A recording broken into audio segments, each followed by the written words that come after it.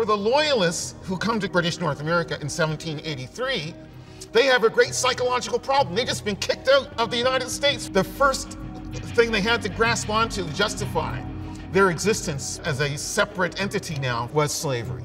Even though they were slaveholders, even though colonies like Nova Scotia began as slaveholding colonies, for crying out loud. You know, it's a typical story that's unfold. The victims of white supremacist violence, you know, are re-victimized again. So freedom is, is a complicated issue. They were free from slavery, many, not all, of these early Nova Scotian blacks, but they were not free from such horrendous oppression that it could frequently lead to death. And so, were they free?